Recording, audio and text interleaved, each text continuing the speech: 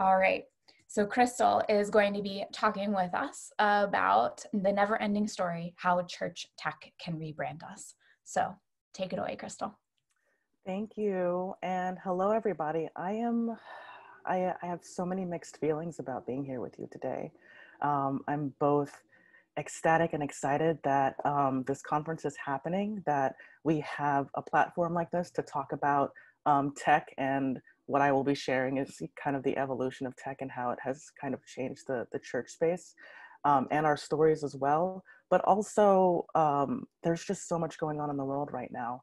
Um, it started with uh, COVID, and somewhere in there there were murder bees, and um, and now there are uh, protests and riots, and just so much um, heavy, weighing heavy on the heart. And um, I'm I changed my talk a little bit to incorporate um, some of that because, uh, as you know, um, tech does an amazing job of of kind of sculpting uh, the cultural space around us. Um, and so, let me get started. Um, my name is Crystal Cheatham, and I'm the creator of our Bible app. Thank you so much, Sarah, for that. Um, this is, and actually, I wanted to show you briefly just what the app actually looks like. If you can see that, you can just scroll and kind of take in a bunch of different devotionals, Bibles, and things. Um, and I believe that this is a resource that is supporting the change that we see in the church. Um, so during this talk, um, in light of the protests and the craziness going on, I told you that I changed a little bit of, uh, of, the, um, of the presentation today. Um, but I want to uh, include things we can do to address the rage and hopelessness we, we may be feeling right now. Um, I'm also going to give away two free subscriptions to the app, and uh, you can win those just by participating and, and being a part of this never ending story. Um, a little bit more about me I am an out lesbian, and um, my relationship to church changed exponentially when uh, I finally did come out to myself and my family and my community. Um, and the way that I engaged with my community um, continued to evolve with the way that I use tech. Um, I grew up as a Seventh day Adventist, um, and now I attend a UCC in Philadelphia. So um, the way that I believe all of us view faith is constantly moving and growing and changing. And I believe that that's a beautiful thing. Um, a little bit about our Bible app. Um, I created it in, uh, or I started to do the work to create our Bible app in 2017. That was fundraising and uh, reaching out to the community, some of whom I've seen in the chat, the chat area. Hi, Jim. Jim Keith. Um, and um, then I started to uh, to actually build it. And um, I myself am, am not a coder. I went out of my way to figure out who could help me code this this thing that I had in my head that I couldn't quite, you know, uh, transform uh, into a real thing. Um, and luckily for me, uh, I had a really cool uh, small team step up and help me do this. And um, we launched in 2018. And uh, at the time, we did we really didn't have so many people on the app, um, but uh, the cool thing about um, tech is that it doesn't really have to be super flashy. Uh, it just has to survive long enough. Um, and the surviving is a lot like uh, my journey in faith in that it's constantly has to change and adapt to the to the way people want to use it. Not the way you envision they use it but the way people want to use it. Um, and so right now we have uh, 24,000 people. Wait are you are you guys asking me questions? Right now we have about 24,000 uh, people who use the app for daily devotionals uh, to read the bible we have multiple bible translations or just for the chat space and um, Right now, we have 300 plus uh, daily devotionals written by authors, um, majority of which who are in the US, but honestly from people across the world. Um, and uh, some of the topics, I mean, just look at the shelves. They range from race in America um, to, for, uh, to an entire shelf for LGBT inclusion, um, some, uh, a shelf about women's issues, and we're just constantly trying to cover things that don't get covered in mainstream. Um, we also have a large podcast library uh, where you can find podcasts that matter to our users. Um, and so we publish content, like I said, that is pro women, that is inclusive of interfaiths, that is LGBT inclusive, and we try to represent everyone, not just the average person. Um, and if you have any questions, just type them in the chat and and I'll try to get to them as we go along or at the end. Um, it, either way works for me. So um, I'm right now, I'm curious about what, what are some technologies your church has retired? That's an interesting question, isn't it? Um, I grew up singing and my favorite part of worship was always the music. So I'm gonna use that as a, as a demonstration as I talk right now. Um, we, we retired our radio station, right? Because now there's podcasts. So why would you have to, to use the radio station? Paper bulletins, that is amazing. How did you pull that off? Um, increasing the creed, overhead projector. Oh my gosh. Okay. I'm not sure what church was like when you were a kid, but um, if you walk into any evangelical space now, you can expect to find big screens and video projection and worship bands with like wireless mics, and the list goes on. I mean, you can even text your tithe to the church um, and I think somehow, somewhere along the way, we just accepted that people would have their own phones out in church, and we just like, you know, used it to our advantage. So um, this is so different from the two cord, the two corded mics that we had in my church in Westchester um, that remained on stage at all time. You couldn't walk around with them. We had the the overhead projector where um, if you wanted to uh, sing along with uh, with music that wasn't in the songbook, um, you had to print the music, the the lyrics on these like see-through plastic paper things that the uh, uh, that the words they were printed on and if you had to make a correction you used like this erasable marker to scribble it out and then rewrite the word in. I mean i don't even know what the thing is called anymore. You said overhead projection but maybe that refers to a couple different things. Um, but um, it was the kind of tech that was encumbering to the user experience to the point where we were so thankful to reach for a hymnal or a songbook when we had the chance. Um, and then soon after that, we had a we had PowerPoint, um, which came with its own issues. Um, and if you knew how to do PowerPoint, you were like a genius back then. Um, and then, you know, it took tech elves to play an entire video for church. You know what I mean? Like if you had access to YouTube at the time and you could get it to actually play, it was just like, it was crazy. Um, and eventually we, grad- we graduated to the screens and the lights and the jam bands. Um, and it is, it is marvelous. And I think what is so interesting to me is how much this, these, these technologies have grown because of the need in the church space, but also the way we do church has changed uh, because of these technologies being being introduced. And um, these changes focus on two things, the user experience, which is the tech fun functionality in a way that encourages folks to, to use it or you know the user experience could be that the that the that the technology is too cumbersome and hard to navigate so that we don't want to use it. Um, and the other thing is church culture. Um, how are we engaging with each other in this space how is the tech allowing us to engage with each other in this space? Um, yeah. Um, so tech has changed the way we do worship, maybe even the way we show reverence and respect for holy spaces. Like right now, pulling out a phone and watching a video during a worship is is is is like it happens all the time. Um, but there was a time where having a phone in church would be considered so irreverent. Um, and right now, I do church from my home, just as we all do because of COVID. So um, you can go to church anywhere around the world. Just plug into Zoom, like we all here, we all are here now. Um, actually, Sunday mornings, uh, we we have started to do. We pass the peace uh, through Zoom. We take Eucharist through Zoom and i'm really curious about your about your stories with like palm sunday and easter how creative did your church have to get to make that happen for everybody i really want to know um, i think it was in 2009 when i first took um, my family iPad to church in order to read and follow along with the Bible. Um, it was a simple thing, but I was starting to change the way that I engaged with my church space. Um, having a Bible app also opened that third door and changed the culture of the church. So user experience and church culture. I wasn't engaging with this.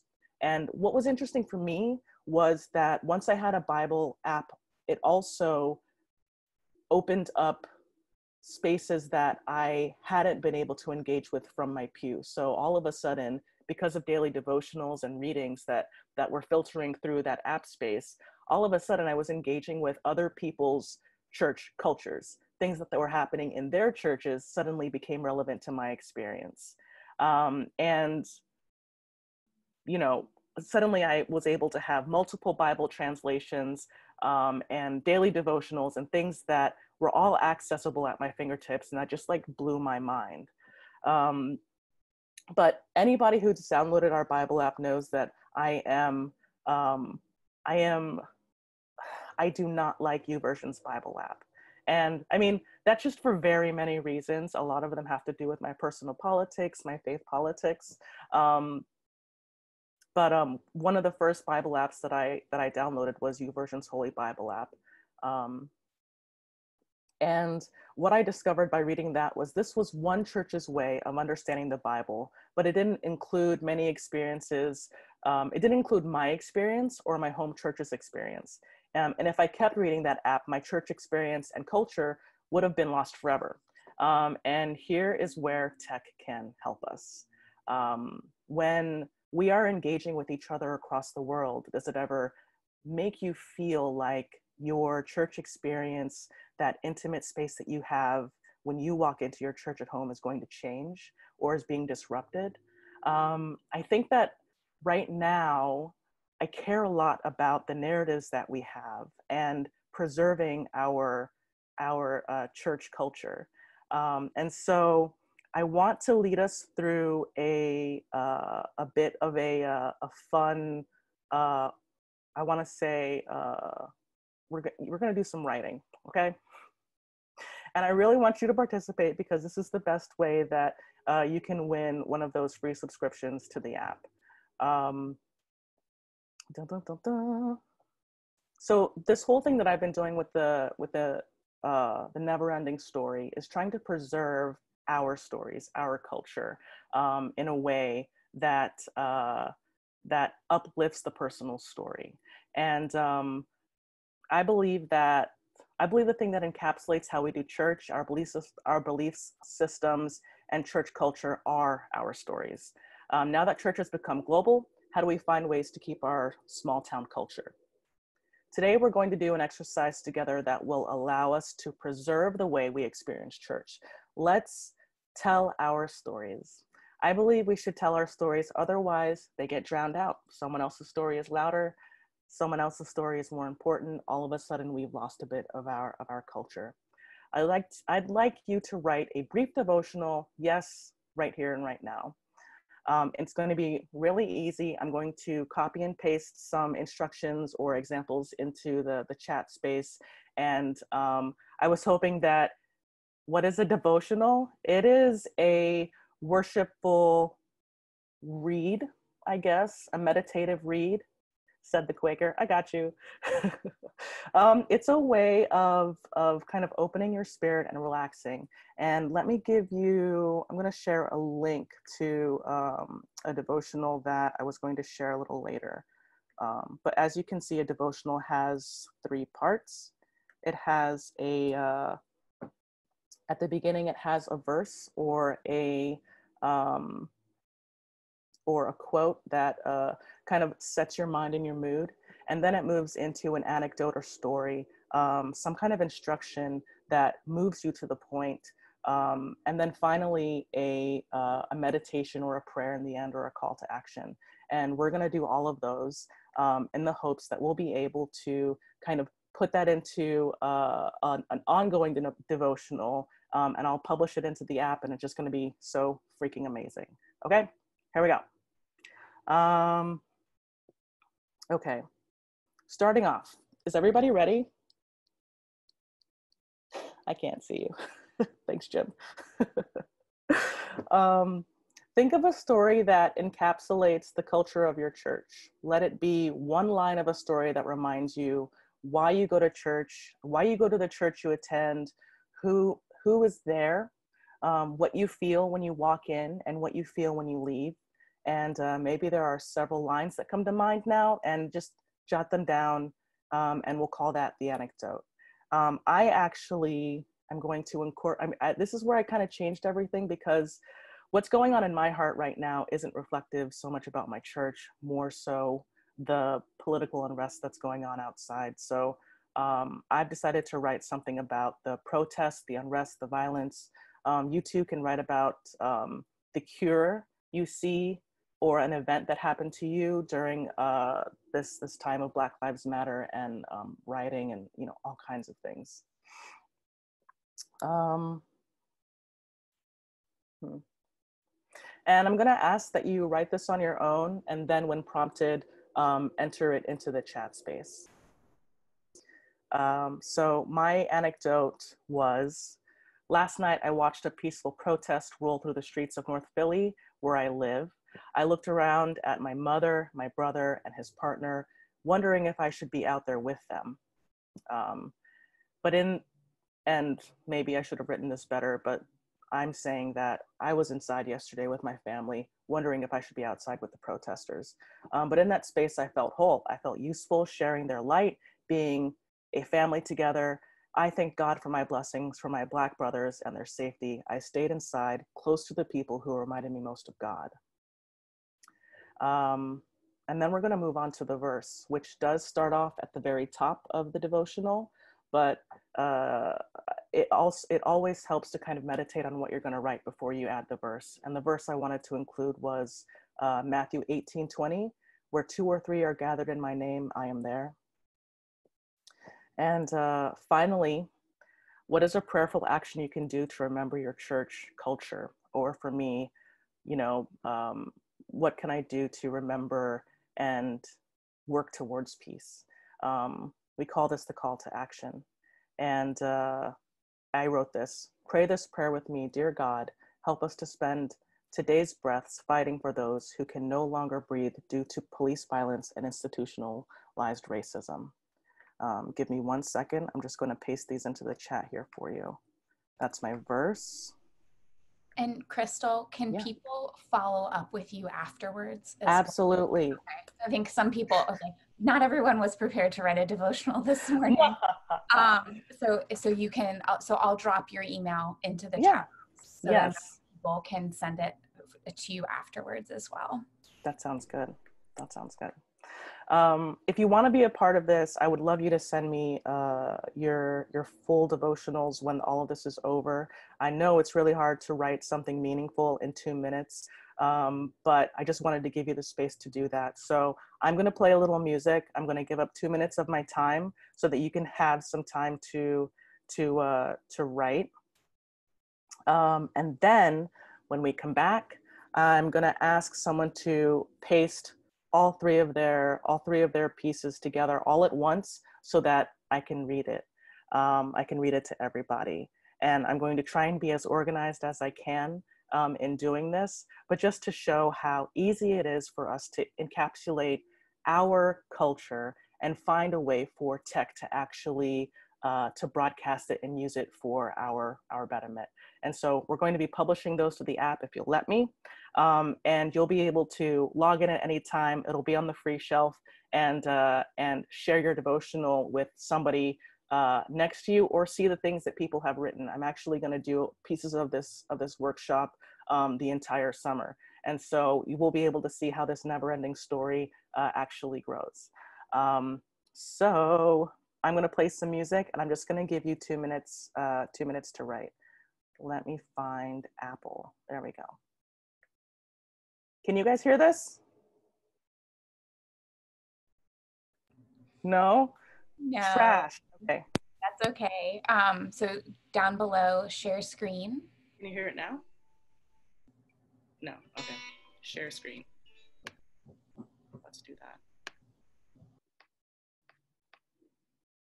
One second. Okay. It went away. Oh, did I did I try to share it? Share screen.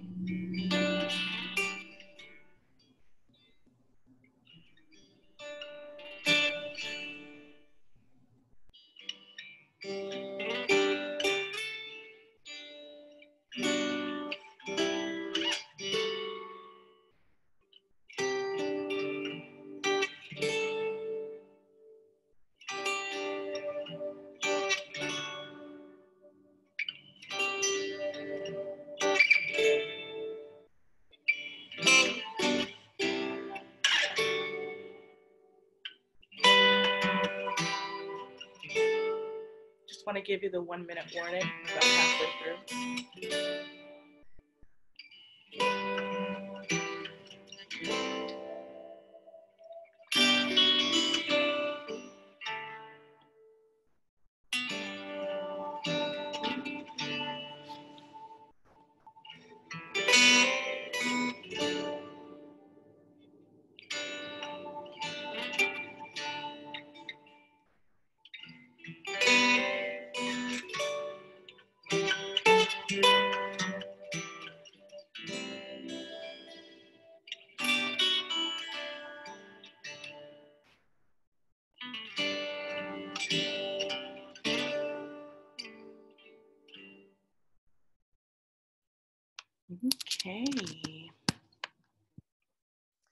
It's over. Um,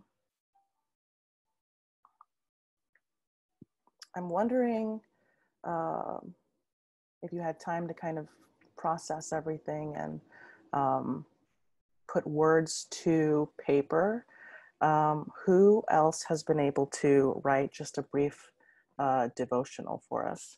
Um, Sarah, maybe you can help me find one find one to read yeah. um, aloud. I can absolutely do that. You guys um, did so well. I'm really Jill, like I'm I'm amazed how many people are able to write that quickly. um, Jill says, um, "Do not be anxious about anything, but in everything by prayer and petition with thanksgiving, present your requests to God." From Philippians. Oh, we have no riots in our small town, but we do have some very peaceful protests on the courthouse lawn. Our congregation is very diverse politically. Our interim priest was awake all night Monday night and awoke to the leading of the Spirit that our answer is to simply open the doors of our church for private prayer. Lift up your heart and voice in prayer in these turbulent times. Pray because prayer makes a difference. Pray because prayer changes us because prayer opens us up to the will of God. Oh, thank you so much, Jill. Thank you for sharing that. That was beautiful. Um, would you like read. Yeah, I would leave. I would like one more. That was so good. um, all right, I'm gonna find. Uh, there was a good one. All right. So let's do one from Fran Gardner Smith. Okay. On the last Sunday before we stopped worshiping in person, I walked into our gathering space before worship. While generally I like some peaceful quiet before worship, what I heard and what was caught up in was a buzz of 15 different conversations all happening at once. What I saw was all of those people delighting in being together and loving one another. From First John, Beloved, let us love one another because love is from God Everyone who is love is born of God and knows God. During this time of social distancing, it is so important to remember that while we can't be together physically, that doesn't change our love for one another. Loving God, I give thanks for the love that surrounds and defines our community. Amen, amen. How do you feel after that, Sarah? I'm uh, I'm getting all misty. I'm getting verklempt. Um, oh, verklempt. That's a good word. to have um, to have that such quick processing be so grounded in our souls um, is um, is I think what I think we've been missing. I think yes. we've been missing that um, at our 24 hours news cycle, as Keith was talking about, um, and just the exhaustion um, hasn't given way to a, a grounding. Exactly. Um, and so I think this is a really good demonstration of how we can use story to uh, to kind of hold on to our our church culture. And um, as you'll see when I get the chance to publish all of these, um, the way that tech can, with a good user experience, can allow us to um, maintain that, maintain our culture and that spirit. Um, and so I'm going to ask everybody who participated to please email me your uh, your devotional. Send it as it is. And if you want to also include your um, a brief bio, just like one or two lines of who you are with um, with your name, I will uh, be publishing these within the next week. Um, and you'll see this kind of grow throughout throughout the entire summer. Um, but this has a timestamp on it, which shows that this was actually written during this momentous momentous time, and that we across the world, we across America, were able to to uh, to worship together.